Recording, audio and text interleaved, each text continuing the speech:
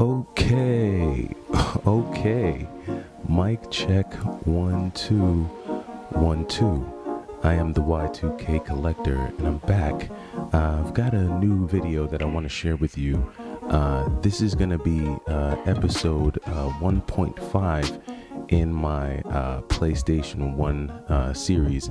It's a series that I'm doing. It's my first series, so please don't sue me if I don't execute this perfectly. But um, this is basically just a series going over uh, all of my PlayStation 1 games, and I kind of broke them down into a few categories, uh, you know, and, and, a lot of that is pretty much uh, driven by their their value as well as their uh, their popularity. So uh, in this section, I'm talking about the alternatives. And in uh, episode one, I shared with you a few games that I have in my PlayStation 1 collection that aren't uh, fully complete in box. Either they have a reproduction case, or usually it's just some type of reproduction case or a different jewel case, um, but it's not like the original manual, or some of them may not even have a manual. Uh, there is one case where I actually, where the game isn't even uh, authentic, and I think uh, that's my copy of Cannon Spike. I was able to get a copy of Cannon Spike, and uh, Cannon Spike was actually a, uh, I think it was a, a burnt uh, version of the original game. So, and that's just because those games are just so expensive. I mean, Cannon Spike, I don't think you can get it for under 350. Um, and so, anyway, just back to the PlayStation, right? So, there were a few PlayStation games that I really wanted to get, one of which uh, just brought me right back to my early teenage years. It was a game that my brother had, and he let me borrow it, and I played it and I beat it, um, and that was uh, Klonoa. And so um, when I started uh, collecting for the PlayStation 1 again, I said, you know, I really want to get some of these games, and, and Klonoa was one of them.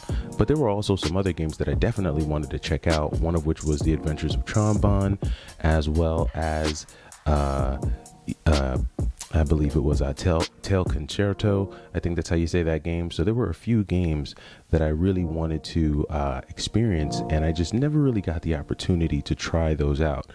And uh, when I got around to looking at them uh, and the and the cost to purchase them, it was just astronomical. So I mean, I wasn't going to pay 500 bucks and so on and so forth. So I, I, said to myself, how can I get access to some of these games um, in a much uh, cheaper version? And this is where the PS Vita comes in. And so uh, this is part 1.5 of my PlayStation collection, and I would classify these PlayStation 1 games that I'm going to go over, I'm going to put them in the alternatives because uh, these aren't games that I'm able to play on their original form. And by original form, it means that I do not have the physical copies of these games, I don't have the discs with the manuals where I can go in and just put it into a uh, PlayStation console and play the game. Um, and and so I found a hack for these games, and for me, this this just increased my PS Vita value. Um, you know, I, I think a hundredfold, right? Because just by having these games you know, on there, it just makes my P- PS Vita so much more valuable to me. But let me get into the games, right? Before I go on with my babbling. It's already been three minutes. So, uh, the first game that we're going to go over is the game that you're looking at now. Oh, actually, I think the Vita turned off, so let me turn it back on here. Uh, yep. So, and the first game we're looking at is this game here. This is The Adventures of Tron Bonne. Um, this is the most expensive game on the PlayStation right now, um, and I think it's going to hold that title for a while. Um, but this is a game that I really wanted to play just because I, I am a fan of the Mega Man Legends series. I really do like that series. I'm a big fan of it. And so it was just a game that I knew I wanted to uh, experience. Uh, I just didn't want to pay that price tag. And so the PS Vita offered me this opportunity. I was able to actually uh, get this game on the PlayStation uh, network, on the PlayStation Store. I think I got it for about uh, either $7.99 or $9.99. Either way, 9.99 definitely beats you know 600 500 700 800 i think i've even seen this game for a thousand bucks. So this to me was a great way to just maximize the the potential and the functionality of my ps vita.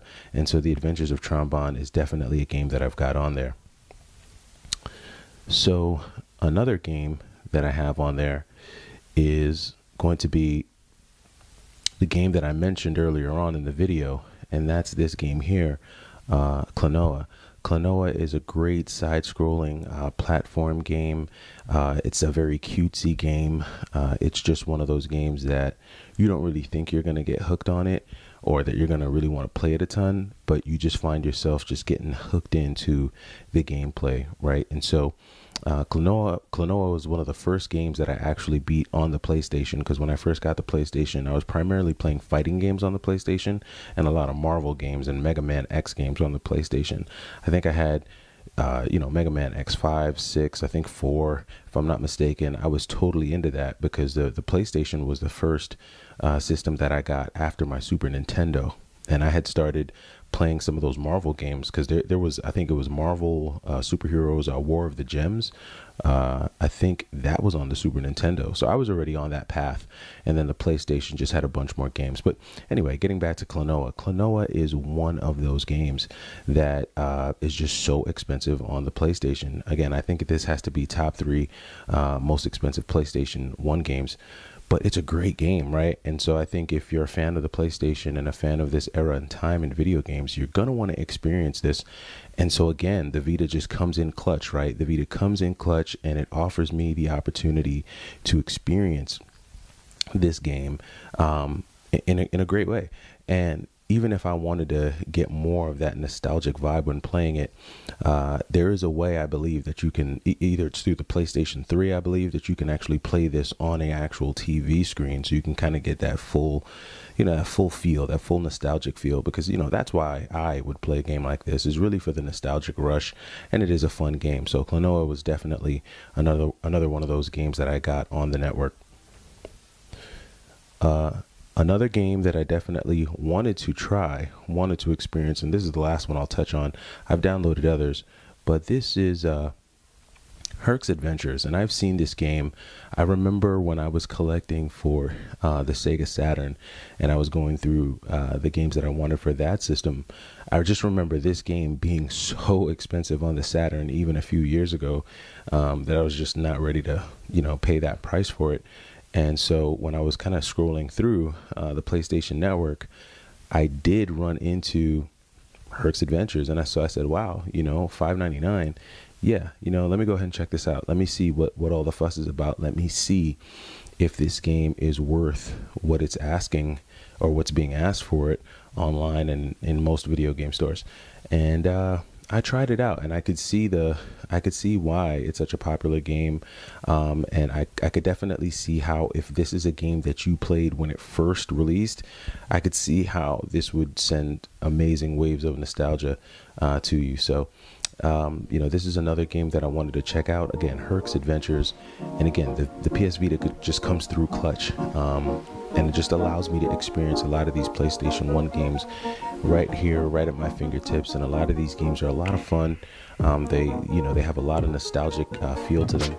And uh, this just, these are three games. I, I also have Tomba uh, Part 1 on there um, uh, on the PS Vita, just because Tomba 1 was, again, another very expensive PlayStation 1 game that I didn't want to pay the price tag for. But this was an alternative, right? And so the PS Vita just comes through clutch and allows me an alternative way of uh, experiencing these PlayStation games and adding them to my collection. Um, and to me, it just, again, just incredibly boosts up the value uh, of my PS Vita.